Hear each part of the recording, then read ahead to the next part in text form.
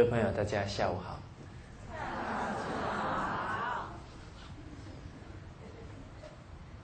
我们早上提到，万物静观皆自得。啊，从万物当中，我们有一颗谦卑之心，啊，也可以从中啊领会处事待人之道。那五伦关系第二轮是君臣有义。啊君臣这个关系，不单呢是指君王跟臣子，其实在古代啊，它也包含在政府机关或者人民团体之中，啊，只要是领导与被领导的关系。都属于君臣关系，所以从这里去思考，那在目前的社会当中，哪一些地方啊存在着君臣关系？像我们是从事教育的，所以学校本身呢就是君臣关系，那学校与教育主管部门啊也是君臣关系。还有没有？在企业当中，有君臣关系，甚至于在企业的部门里面，啊，那它也是一个领导与被领导的君臣关系，啊，包含政府单位，也属于君臣关系，所以人能不能脱离君臣关系？那不可能。那在古代啊，连家族里面都有君臣关系，因为古代是大家庭，大家族，所以家族里面都有威望比较高的长者，他来做家族发展的一些决策。那现在已经很难想象这种大家庭。现在大半都是折中家庭、小家庭，而且小家庭更多了。所以以前在大家庭当中啊，就可以学习这种领导被领导的服从态度跟负责的一种胸襟。所以现在孩子小家庭确实啊，很多该学的态度反而都没有学到。在明朝时代，朱元璋的时候，有一个臣子叫郑莲，他们家超过一千个人，一千余口。你看呢，一千余口都可以经营的好，我们现在，一家三口都怎么样？都吵架哦。所以有没有看出功夫了？差很多，好我们从这个比较当中要生惭愧心，啊，顺何人也？好，于何人也？啊，这句话你们要放在心上，时时要自我怎么样？不要等着别人来鼓励你，要自我激励，啊，等着别人来，有时候已经英雄气短，来不及了，好，要自己呢，能够啊，提起精神。提起斗志，那明太祖啊，他对于正廉的家族能够期待同居，又能够啊千余口啊，也很佩服，就请教他如何经营和睦的家庭。那正廉就对明太祖说道呢，要不听妇言。不听妇言，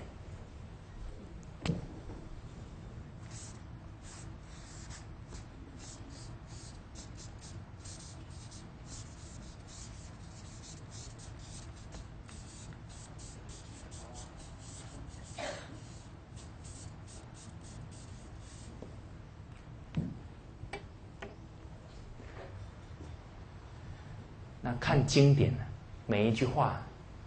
你要从它的时代背景来看，哦，你不要看到妇言啊，我是妇女，哦，马上呢不大高兴了。那接下来两堂课，我看也听不下去了。我们去了解到啊，古代啊，女人比较少机会能够接触啊圣贤的经典。那经典属于理智，属于智慧。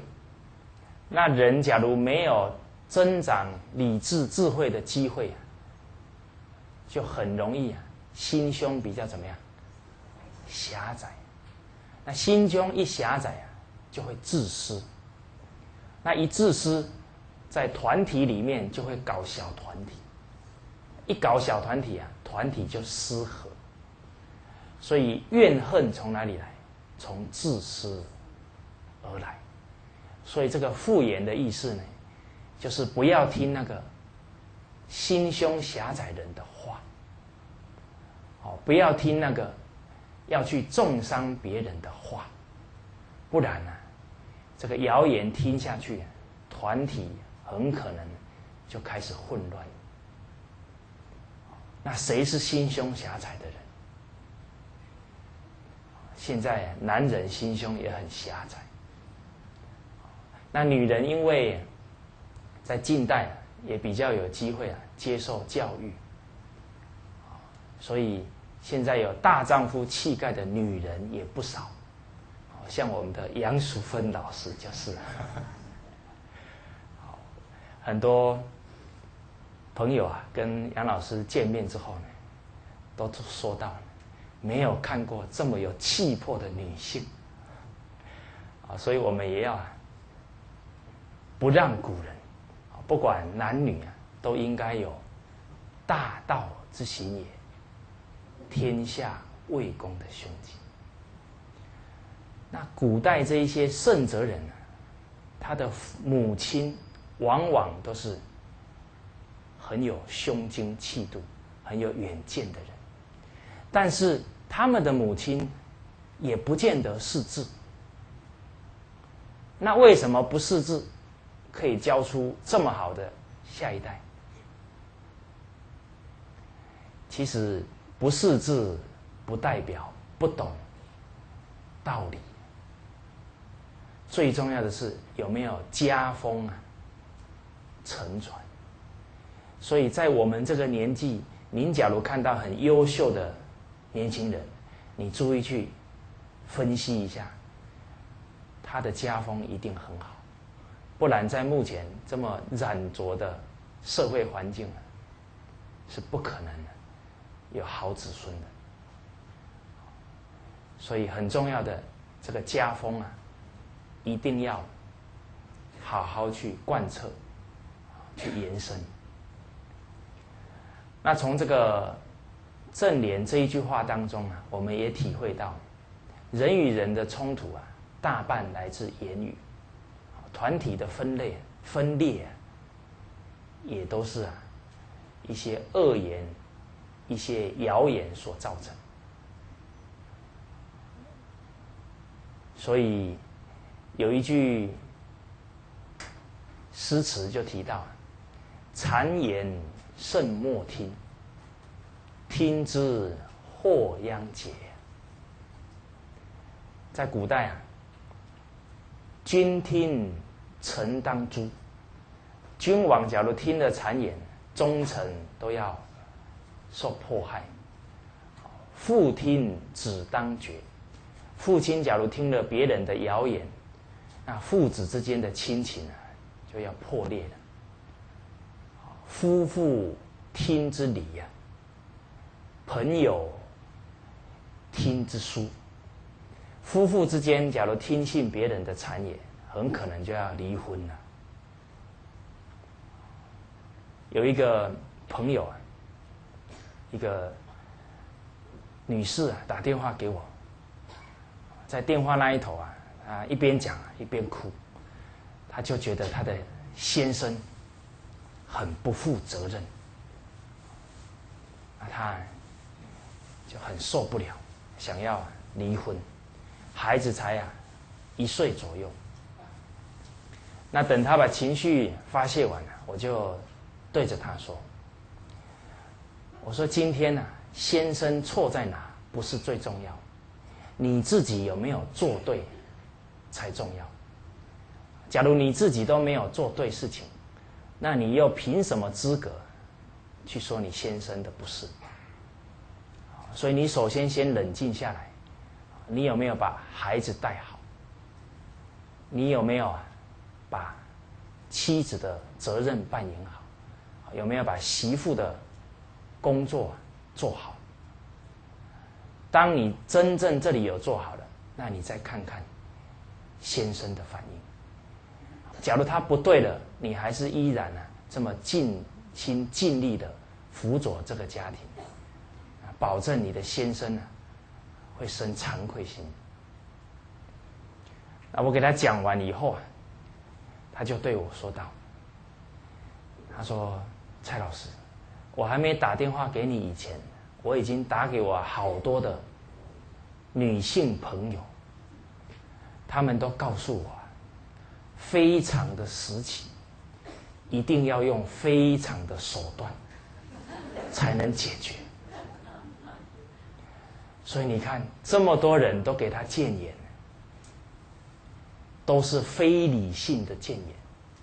所以我们可不能乱讲话，让人的家庭破碎啊！要谨言慎行。所以我有一个朋友，他就跟我提到，当初他们。建议一对夫妻离婚，离了以后啊，双方都很后悔，所以他自己呢也难过到现在。所以不要劝和啊，不劝离。所以俗话也讲啊，宁拆十座桥，不破一桩婚。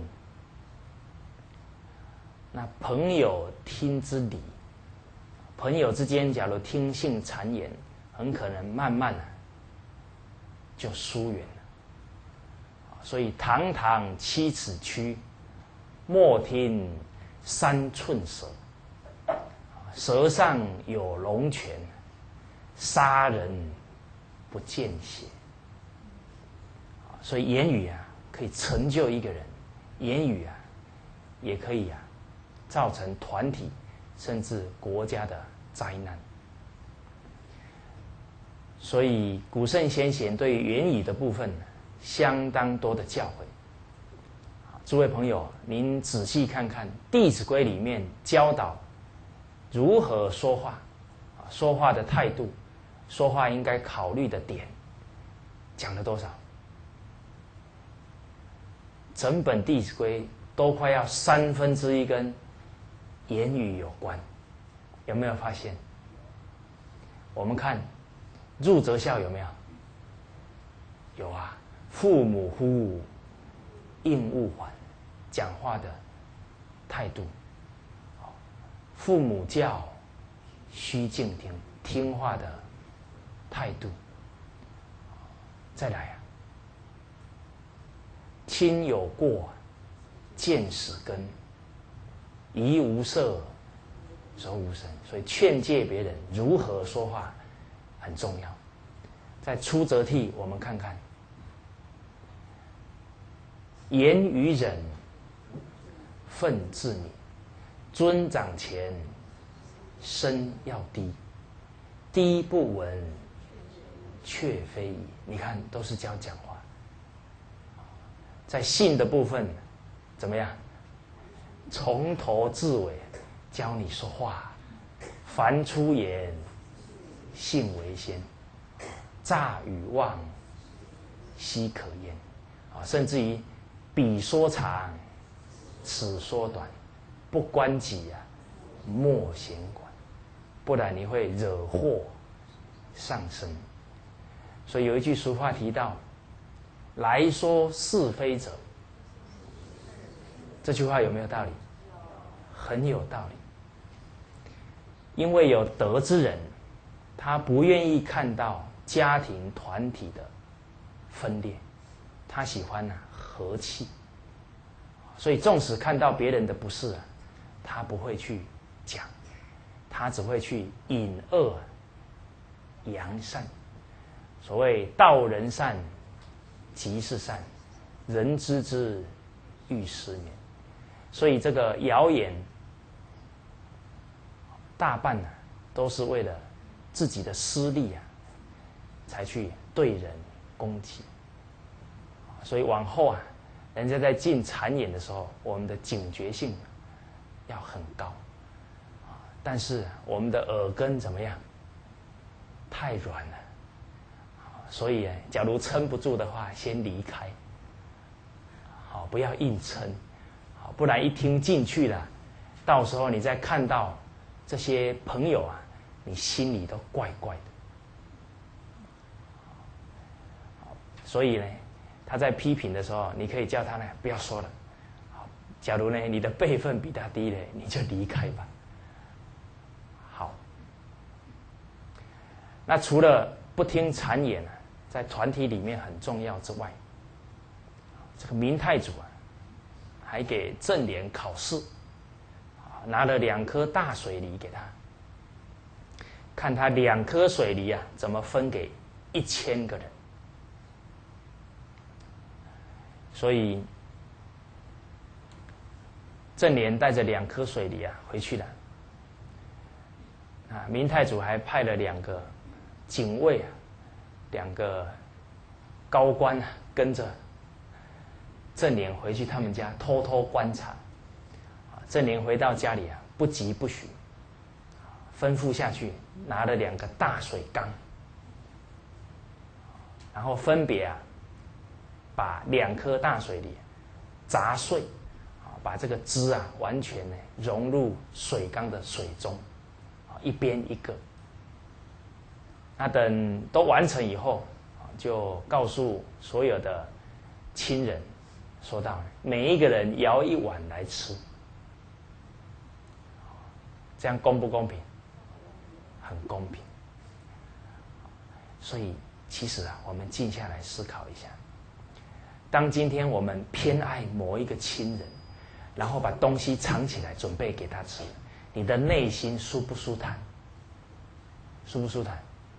不舒坦，他吃的痛不痛快？也不痛快嘛。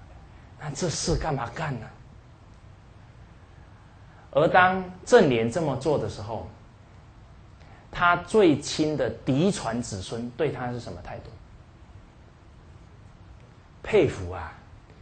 哇，你看，爷爷这么公正。对于亲戚关系比较。离他远的这一些亲人看了以后怎么样？更感动啊！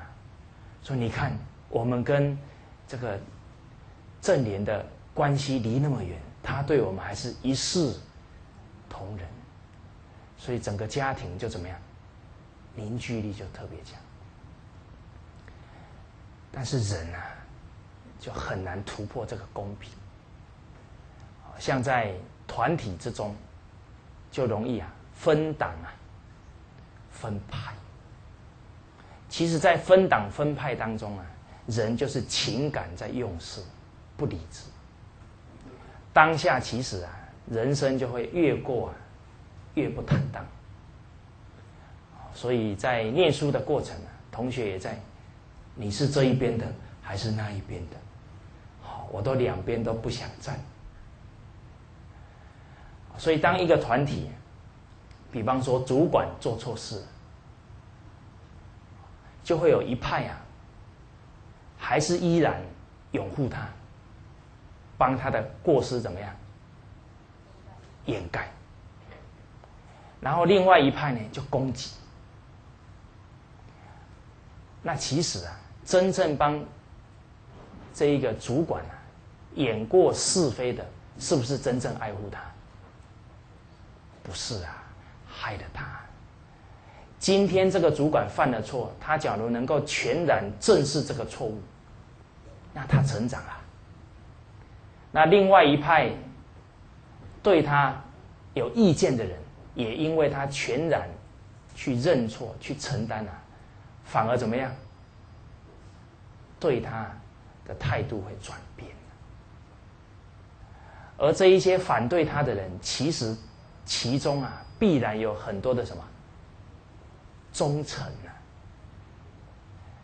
这个主管，假如没有好好的去珍惜这些人的正直啊，那他会很多事情越看越不清楚。所以在团体之中啊，我们要常保冷静才行，不然你一味啊袒护他，并不见得对他有真正的帮助。所以劝诫别人，时时要提醒他，反照自己的过失在哪。我们这样去劝人的时候，就不容易啊出差错，也不会有。流弊问题，反而你跟他在谈的时候，都是只看别人错在哪，他那种情绪情感就会波涛，到最后他的决策就很难脱离意气用事，而团体啊都有一个共通的目标，当我们意气用事，而把共通的目标啊。舍掉了，那这样就没有尽我们的本分，这样福分也怎么样？也在其中啊折损掉。所以今天我们是为人主管，有这样的名啊，不是拿来炫耀的。有这样的名啊，它背后还含有一个重要的责任所在。所以，唐太宗的臣子，一些在他身旁的人，就跟他讲：“这个天子啊，无所畏惮，没什么好怕的。”唐太宗就对他们讲：“我怎么会没什么好怕的？我是啊，上位皇天之见领，我对上啊。”战战兢兢，生怕上天呢对我的责罚。假如我做的不好，一定会啊得天谴。下旦群臣之瞻仰，我对这些臣民啊，时时想着，他们这么信任尊重我，我假如不好好的做啊，也对不起他们。所以啊，一般的人觉得。这个皇上很好做，啊，其实真正的明君呢，他是战战兢兢，他不是看到这一个至高无上的地位，而是在这个地位的背后的责任啊，他时时不敢忘怀。那刚好唐太宗这一段话讲完以后，魏征就接话了，他对着唐太宗说。此臣自治之道，皇上啊，您刚刚这一席话，真是天下大治的关键所在。啊接着魏征又说：“望陛下慎终如始，就是希望陛下这一念心呐，能怎么样？”坚持到啊最后，所以魏征讲话实在很有学问哈。他先呢，唐太宗一讲完呢，先给他肯定一下。哎呀，陛下，你这一段话真是天下大治的方法。哦，唐太宗很高兴。接着又给他一句叮咛，希望你能够啊坚持到底。所以魏征呢，跟唐太宗这个君臣的相处之道，确实是一门大学问。有一次，魏征就对唐太宗说道：“他说啊，我不要做忠臣，我要做良臣。”啊，唐太宗很好奇啊，你为什么不做忠臣，要做良臣？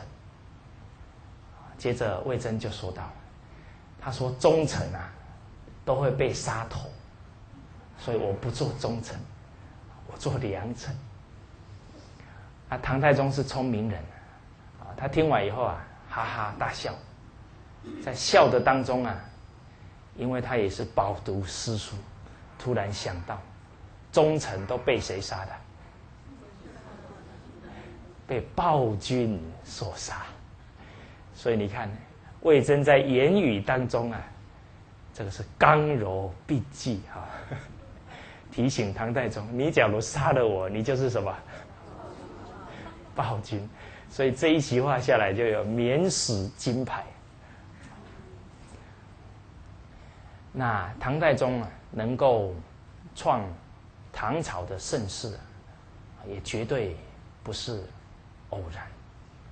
不单呐，要有自己的德行，还要有很多啊贤贤臣的监督。啊，毕竟一个人所见所闻。不可能面面俱到，所以为人君者必须有相当的度量啊，接受臣子的劝诫。所以有一次，有一个臣子进来觐见唐太宗很多的过失，在讲的过程，唐太宗啊也没有生气。好，当这位臣子离开以后，旁边的大臣。就说道：“说皇上啊，你刚刚怎么都没有制止他？他讲的根本都是不真实的。”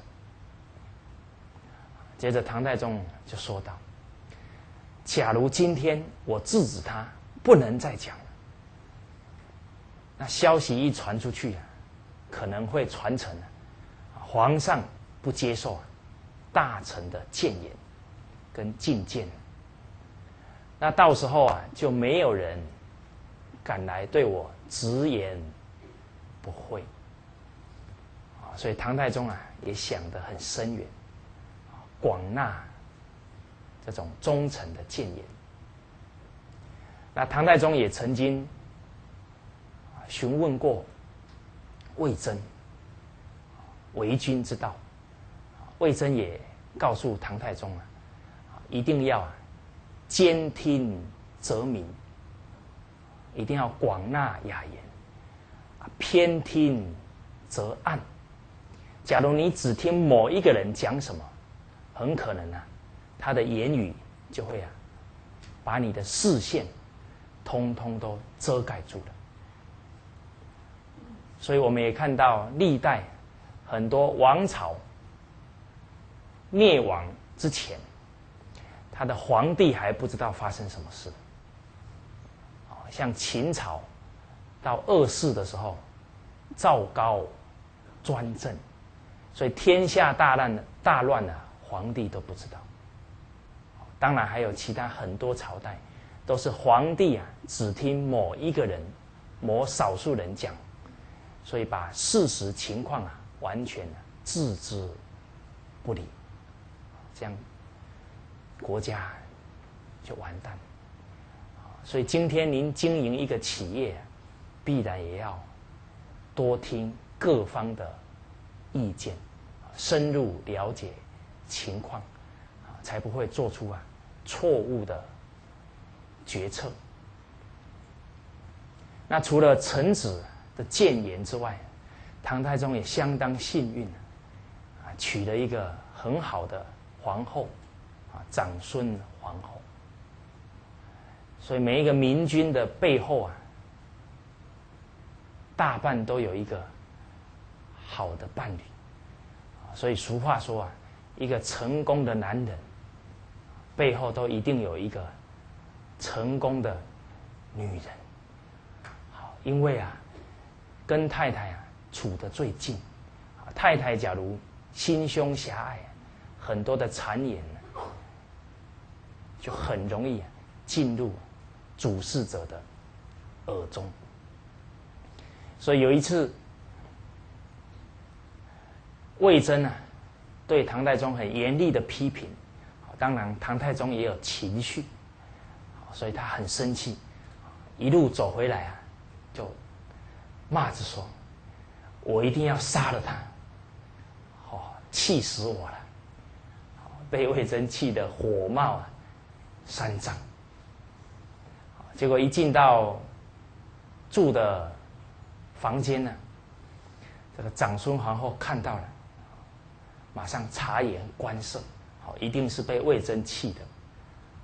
所以这个长孙皇后啊，就回到她的寝寝室里啊，换了非常正式的服装，好，都是啊国家的正式庆典的时候才穿的，啊，穿好以后啊，就到唐太宗的面前了，然后跟唐太宗行礼，说道：“恭喜皇上，贺喜皇上。”唐太宗在气头之上，看到自己的太太穿的那么正式，还恭喜他，就一头雾水。接着，皇后就说道：“一定是有啊明君出现，这个臣子才敢呢直言不讳。”唐太宗一听，哦，明君出现，哦，谁是明君呢？哦这个马屁拍的怎么样？恰到好处。哦，所以呢，这个皇唐太宗马上啊转怒啊为笑了。所以确确实实，一个人要建功立业，绝对不单是自己的能力，身旁啊有多少人的相助才能成就。所以唐太宗啊也常常都提到。就是有身旁这一些臣子给他的协助，才能把国家大事办好。所以，领导者也要时时啊，能够让功于众，把功劳啊应该给谁？给所有付出的部属。啊，当有成成就了。通通都说是自己功劳，当出事的呢，都是骂底下的人，这慢慢就会啊失去人心啊，最后就闹得众叛亲离都有可能。所以孟子啊也提到，天时不如地利，地利不如人和。所以你能注重人和，能让功于众，这个时候啊，就与道相合。那得道者就多助，失道者就寡助了。那寡助到了极点会怎么样？亲戚叛之，连亲朋好友都离你而去。那多助到了极点会怎么样呢？天下归之。您真正有道德学问了，天下的人都成群结队来啊，依靠来效法，来归顺你。所以这样的情况，在古代啊，有贤君出现的时候。特别的明显，所以大顺以孝以德感动了全国人民，所以对他非常支持。那周文王因为仁慈之心，天下都以他为首来归顺他。那有一次在做一个建筑工程。刚好周文王来巡视，那在工作的过程里面呢，挖到了一些骨头，工人呢随手把它放在旁边。周文王一看呢，马上啊就把这些骨啊骨头呢埋葬好，好把它立墓碑。所以这样的举动啊，让他的臣民很感动。我们的文王啊，连对死人都这么恭敬，更何况啊，是对活着的人。所以我们念念当中啊，是否与道相合，都是人心所向，还是所违背啊？都在我们的一言一行当中。所以除了要能让功于众，要能时时啊广纳雅言之外，领导人还要时时有一个自我检讨的态度，就是啊检点自己的修身功夫。尧帝啊有一次走在户外，刚好看到两个人民呢犯了罪，被关起来。啊，要正要啊，押送到监狱。那尧帝一看呢，就很慌张啊，就跑过去，对着这两个人民说道：“他说你们是犯了什么罪？为什么犯法了？”两位人民就提到：“因为上天久旱不雨，所以啊。”我们已经饿到啊，没有粮食给家人吃，所以不得已啊，去偷了人家的东西，犯了法。尧帝听完以后，就对着押解犯人的士兵说道：“你把他们两个放了，把我抓起来。”啊，当场啊，大家都很错愕。怎么君王自己要要求受刑？那接着尧帝就说啊，我犯了两大过失。第一个，因为我无德，所以才赶来啊，久旱不雨。第二个，因为我没有把我的人民教导好。所以他才会去偷人的东西，啊，所以这是两大罪状。那当尧帝啊，这种自我反省的言语啊，才结束啊，突然之间呢，天空啊，飘来了乌云，当场啊，就下了大雨。所以我们看到啊。古代这些圣哲人为什么有这么多感应？原因在哪？在他们至诚的心、忏悔的心。那我们为什么感应这么少？诚心比不上他们。而当尧帝有这种自省的心，他是一国之君，所有的人民一听闻。君王有这样的态度啊，一定都会很感动，所以人民自然而然都注重自我反省，注重尽德修业。所以当人民起了这样的善念，整个国运就怎么样转变过来。所以中庸提到啊，国家将兴，必有真相。而领导人尽德修业，对于全民的影响，就是风行草野。德风一吹下来，人心很快就改善。所以在商朝，商汤啊，也提到，万方有罪，罪在正宫，天下。有过失呢，都在谁？都是我没做好。所以这一些圣君能够啊名垂千古，确实不是偶然。所以这些明君能感动一个国家，那诸位朋友，您能不能感动一家？能不能用我们真诚的心来感动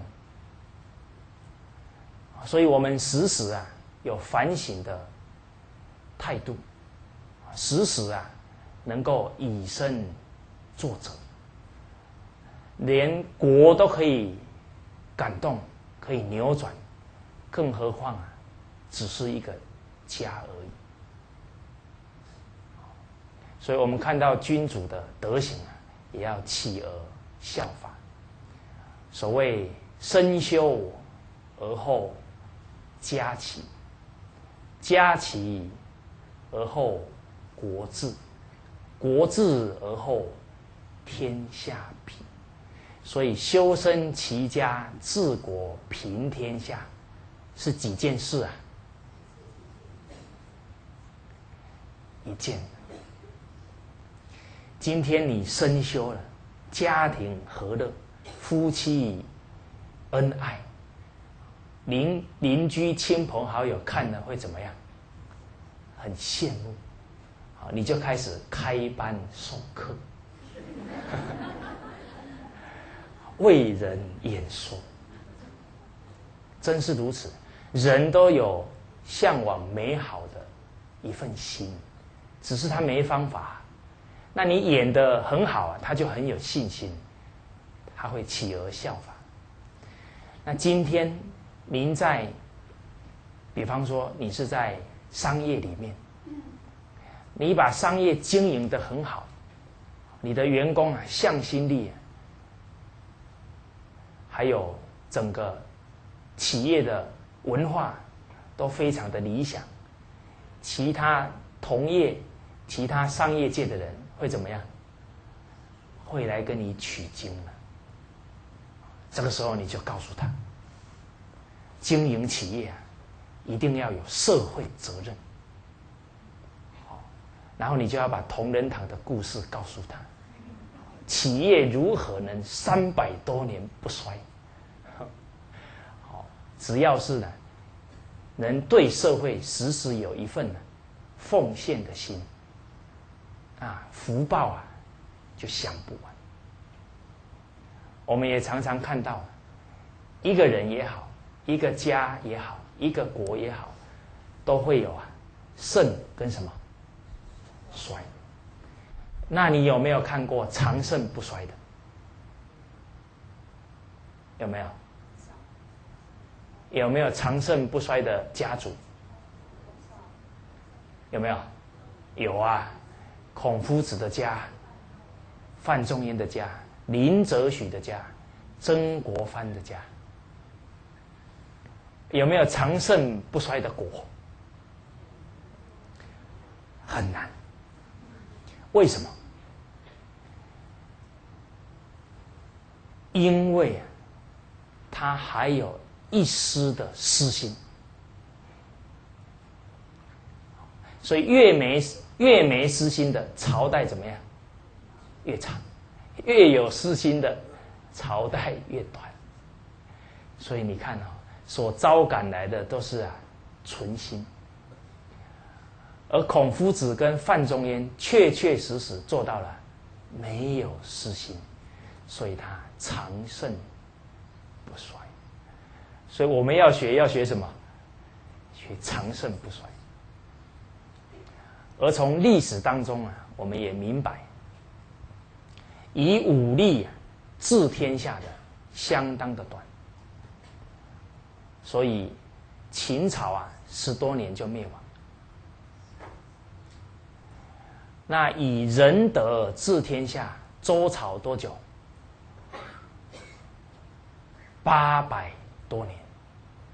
所以你看《弟子规》有没有把？治理国家的方法讲出来，有没有？你们可不要小看他哦。治国平天下都在其中。是福人心不然，所以用武力，迟早水可以载舟，亦可以覆舟。礼服人方无言，所以你用德行啊。才能够让天下的人心呢归顺。而周朝八百多年，根基在哪？还在修身齐家。所以周朝啊，做的最好的就是孝跟悌。入则孝啊，出则悌。而当国君的家庭里面呢，能够力行这些德行，上行就怎么样？下效。所以《大学》里面提到啊，一家人，一国兴仁；一家让，一国兴让；一人贪利啊，一国作乱。所以，周文王对待他的父亲王继啊，非常孝顺。所以，周武王啊，对周文王也非常的孝敬。所以我们那个晨则省，昏则定，这是谁做到的？周文王一天呐。早中晚三次问候他的父亲。那周武王啊，当周文王生病的时候，他每天在侧啊侍奉汤药，十二天呢没有把帽子拿下来，一直都啊陪伴着父亲。由于这一份孝心呢，后来啊父亲的身体啊也好了，不止做到孝。周朝兄弟的友爱啊，也做到极点。《弟子规》说啊：“财物轻，怨何生？言于人，愤自泯。”周朝啊，让财物呢，让到什么程度？兄弟之间呢，连天下都能让掉。所以当。周文王出生的时候，他的祖父太王啊，看了这个孙子有圣者的面相，所以就讲到啊，这个孙子以后啊，一定是一代圣君。他的两个伯父听到父亲这么讲。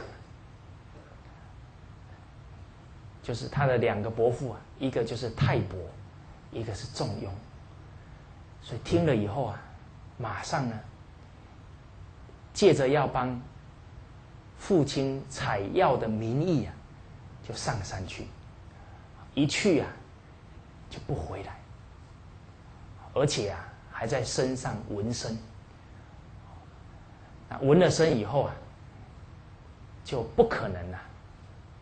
再回国来担任君王，所以因为啊，他这样的举动，所以皇位啊就传到了他的三弟王继，啊，进而啊又传给了他的侄子周文王。所以泰伯、重雍这一让，成全了父亲的心意，所以尽了孝心。然后兄弟之间呢，连天下都让出去，这个替啊也做到极处了。所以不止有孝有替，还有什么？还有忠啊，忠于谁？忠于天下人民，因为他让出了一个圣君，让天下大治。所以孔夫子非常佩服。太伯重用啊，说他们是德之治，德行到了极点呢，才能够做出这样的行为。而这个泰伯重用啊，后来啊，也到了吴国啊江南一带，也在那里啊做了领导人，继续教化一方。所以确实啊，一家人，一国啊。新人，一家让，一国兴让，所以诸位朋友，把一个团体国家治理好，你不要把它想的太复杂。我们在厦门讲课的时候，刚好遇到了一位三十多岁的老师。他听课听到最后一天呢，他也上台来分享。他就说道：“他说我来听了五天的课，我终于明白啊，德行的根本在孝道。”因为这么精辟的教诲啊，确实只在经典里面。那他接着又说：“他说啊，我的体会啊很深，他对于孝悌的重要性啊，他有体证。因为他们那个村落啊，完全都姓吴姓，全部都姓吴。他们那一代出了一百零七个。”后代，结果有一百零六个大学毕业，其中有一个没有大学毕业，是已经考上大学，后来因为某些因素啊，没有念完，所以他下一代的素质怎么样？相当的优秀。接着他又说到啊，这件事绝不是偶然。他说他们家。这种乡里面呢，大年初一不是出去玩，他们这一些同辈的人呢，通通都是陪着父母啊到寺院烧香，所以这做到了什么？孝道啊，亲所好，力为举。然后陪父母回来以后，第二个动作是到各个家里面去跟长辈拜年。这做到什么？替呀！所以对长辈都很恭敬，所以这个恭敬心啊就形成。然后拜完年以后。他们这些年轻人一起到小学里面啊，他们那个村落的小学里面呢，一起讨论今年呢，每一个人在学业上，还是这些还是在事业上有什么收获，有什么体会，大家一起来分享。这个做到了什么？好学。所以好学近乎智，所以能够有这么齐的后代啊，绝非偶然。所以孝悌啊，确实是传家之本啊，不只是传家，也是啊，传团体、传国这根本所在。所以修身自然就能够啊，齐家治国。平天下，所以我们时时啊，能够有所关照。那孟夫子啊，也对于君臣关系下了一个很好的定义，很好的教诲。他提到：“君之视臣如手足，则臣视君。”如父心，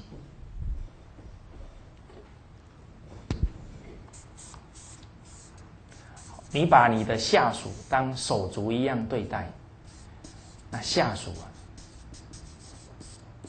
就把你当心腹一样看待了。君之视臣如犬马，假如你对你的下属只是觉得说。啊反正我付钱给他，对他也没有太多尊重，把他当犬马一样使唤。那臣之视君如国人，他也觉得你跟一般人没什么两样。啊，所以你看现在这些员工啊，一到五点五点半，再多一秒钟，他也怎么样？不干，除非你给我什么。加班费，所以根源还在哪？还在为君者的态度啊。君之视臣如土建，你很轻视你的下属，他们责臣视君如寇仇，他们把你当做土匪一样。所以你看，很多人在茶余饭后呢，都在骂他的老板，有没有？那个吸血鬼。所以啊，得不到下属的尊重啊，要反过身来啊，检讨自己。所以有一个老板，他经营的是律师事务所。他说，他还没有学圣贤教诲以前。常常呢，心里都想，这一些部署啊，应该尊重我。但是啊，他们这些部署啊，还是很难对他尊重，所以他也蛮呢，心里啊不大平衡。后来学完以后啊，他的态度不一样了，啊，时时想着应该啊给予部署什么样的辅导。什么样的支持？啊，所以他脑子里呢，从只求别人尊重他，变成呢啊，看到别人的需要在哪。所以过了没多久的时间呢，他跟部属啊处得很好，常常出去啊，也会带些啊当地的土产回来给他的部属吃，所以公司的气氛啊，慢慢啊。就很和谐了。结果以前求人家尊重求不到，现在念念为人着想，也不想啊员工尊重他，结果呢，员工反而啊对他格外的尊重。所以啊，孟子啊这三句话也提供啊我们每一位啊。为人领导者，多多啊，去思考。所以，为人父啊，为人师，为人君，都应该时时有反观自省的能力。所以现在也有一个现象：当父母的人觉得孩子很难教。当老师的人觉得学生不受教，当老板的人觉得员工啊很不听话，所以问题都在谁？都在别人，都不干我的事。好，啊，原因到底出在哪？我们下一节课再来讲。好，谢谢大家。